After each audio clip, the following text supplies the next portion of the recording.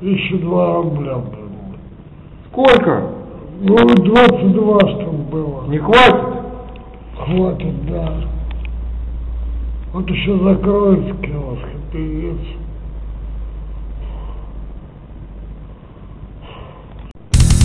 Поехали. А что за пиздец? Плясать.